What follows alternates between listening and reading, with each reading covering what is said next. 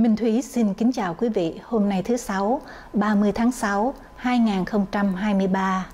Đến với VATV hôm nay gồm có phỏng vấn đặc biệt và nhạc lá bồ đề.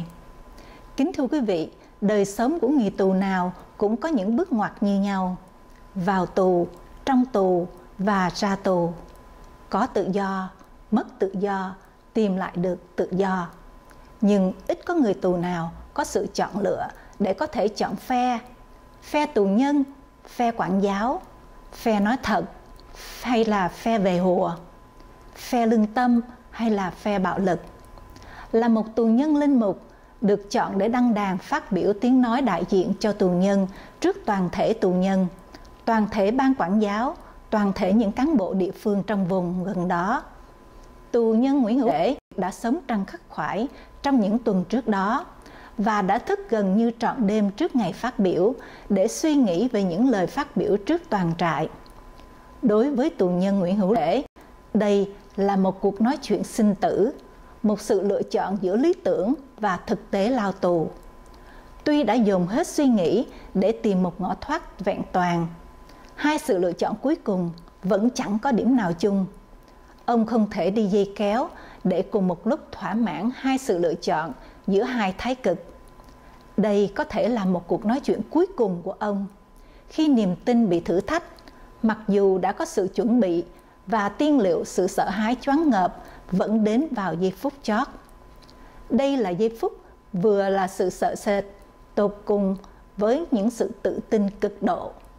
Vào giây phút sinh tử đó, tù nhân Nguyễn Hữu Lễ đã nhận thấy sự giống và khác nhau trong tư thế đăng đàn phát biểu của một tù nhân và tư thế đăng đàn phát biểu của một linh mục. Xin mời quý vị nghe trọn vẹn bài phát biểu của linh mục Nguyễn Hữu Lễ trước toàn thể tù nhân và cán bộ cai tù trong trại tù cải tạo nơi ông bị giam và cái giá của ông phải trả cho những lời phát biểu đó. Qua phần 12 phỏng vấn đặc biệt với Linh Mục Nguyễn Hữu Lễ do Phan Lê Dũng, Võ Thành Nhân và Minh Thúy thực hiện.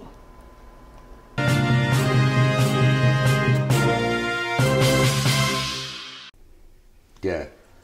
Ngày hôm sau nó bắt tôi lên đứng trước mặt.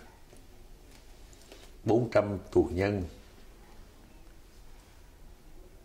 Với tất cả ban lãnh đạo của trại cán bộ trung ương về để tổ chức học tập khai báo. Thì khi tôi lên anh biết đó, đây là tôi nói hết sức cụ thể cho anh thấy cái sự sợ sệt con người thế nào.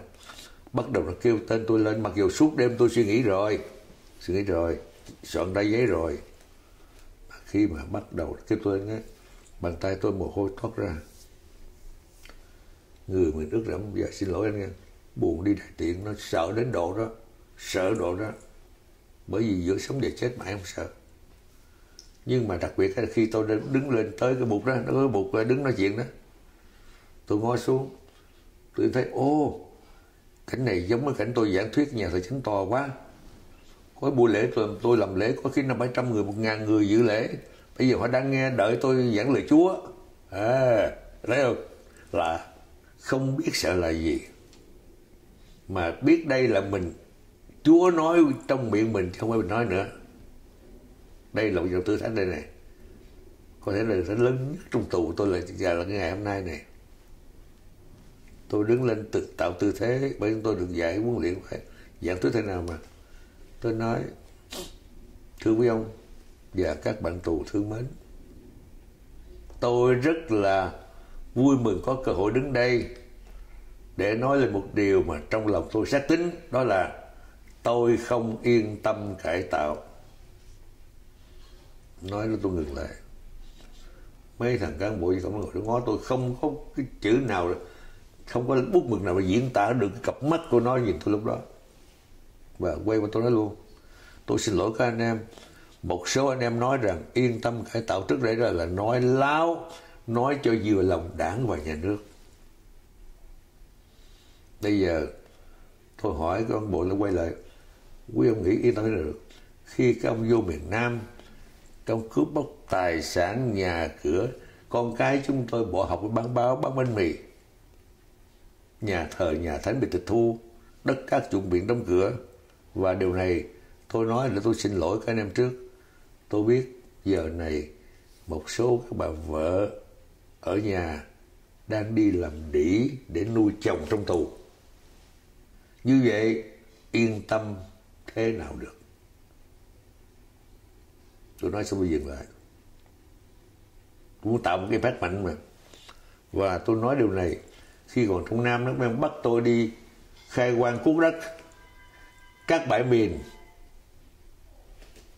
chiến tranh bỏ lại và có nhiều anh em tôi nổ banh thay, tét ngực đuôi mắt cục giò. Mỗi nhát cuốc tôi tưởng tượng đó là một nhát đào quyệt cho mình. Làm sao mà yên tâm được?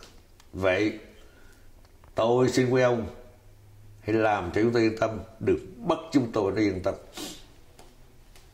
Tôi nhớ cái bài đấy tôi thuộc từng bởi tôi soạn sẵn đêm, tôi soạn tôi thuộc lòng mà anh biết nói xong tôi đứng yên tâm những gì tôi nói đây đó là tôi hoàn toàn chịu trách nhiệm. Bây giờ quý ông đánh địa vô miền Nam hỏi những điều tôi nói có thật không? Có cướp nhà thờ không? Có cướp đất ờ, uh, trung viện không? Có tịch thu nhà cửa của các ờ, uh, quân nhân mà mong gọi là ngụy không? Có không? Thôi đánh điện hỏi tôi nói bữa đó nó giống như cái hội trường nó chết trân nó giống thể là uh, những thảy ma nằm ở những hình nộm tôi đứng là thấy tức. Lát sau tôi nghe một tiếng vỗ tay một anh tù đã không biết nữa vỗ tay bóp một cái. Có một tiếng vỗ tay thôi. một khoan. Tiếp theo là cả rừng vỗ tay tôi tưởng cái nóc hội trường nó bung lên này tôi tưởng nóc hội trường nó bung lên. Tôi nói đây là tiếng pháo hạ quyệt của tôi. Tôi nói rõ mà đây chính là tiếng pháo hạ quyệt của tôi. Và tiếng pháo hạ quyệt thật. Sau đó đưa đại tuần cổng trời đó, tôi chỉ biết bao nhiêu gian nan từ ngày đó rồi. Sau đó xong đó rồi tôi trở về Nam Hà. Tại thế tôi vượt ngục? Rồi chết ba bốn người. Tôi sống sót đến tôi cùng chân ba bốn năm. Tới ngày tất cả tất cả mọi chuyện nó đều do từ cái bài nói chuyện mà ra. Cho nên, cái câu đó là câu Chúa nói đó, chứ phải là Thiên Chúa hơn là loài người. Giả lại tôi là linh mục duy nhất nữa. Mà đa số công giáo.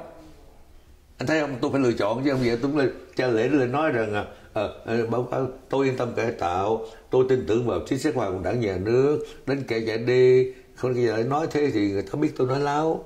Thấy chưa? Người anh em tù nhân đó, họ sẽ thất vọng. Trời ơi tưởng ai ông cha lễ này bây giờ cũng thằng hèn đứng lên chuyện mẹ như con chó con.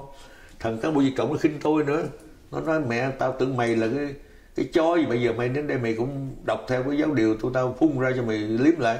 Thành ra anh thấy đó là một sự trả giá. Nhưng mà mạng sống ai chẳng quý anh. Tôi sợ kinh khủng lắm. Nhưng mà tôi nói tôi chết nhưng tiếng tôi sống. Mà nếu tôi nói theo cái, cái, cái giáo điều đó tôi sống. Nhưng mà thật sự tôi đã chết. Và đó là một sự thử thách rất là lớn anh này bây giờ nhắc lại tôi nghe lớn lắm anh này nói bây giờ dễ. Xin lỗi anh, tôi sợ rồi, tôi xấu biết xấu ra quần. Có thế bà cũng đừng cười thôi. Đó là sự thật. Nhưng mà nếu không có cái, không có cái niềm tin căn bản vào kinh thánh, không sống nổi anh ạ. Cho nên tôi nhắc lại lần nữa, xin lỗi tôi không biết anh là người tôn giáo nào, tôi không cần biết chuyện đó. Bởi vì anh tôi gặp nhau trong cái tình bạn tình người thôi tôi nói chuyện ngay, tôi chưa bao giờ tôi nghĩ người đó là tôn giáo gì hết. Nhưng mà nếu sau này anh có gặp những vị nào về tôn giáo mà đến với anh cộng người thánh trong thai, rồi nói rằng ông thánh này nói này thánh kia nói kia, đọc bây giờ xin lỗi anh, cái đó nó không phải là điều để chúng ta phải nghe theo đâu. Những người nào đọc kinh thánh và sống cái lời Chúa đó mới là cái người thật sự để cho chúng ta một cái một cái gọi là, cái inspiration, một cái cái sự à, à, gọi là cái gì? Mơ ước ha bên một cái cái niềm hy vọng.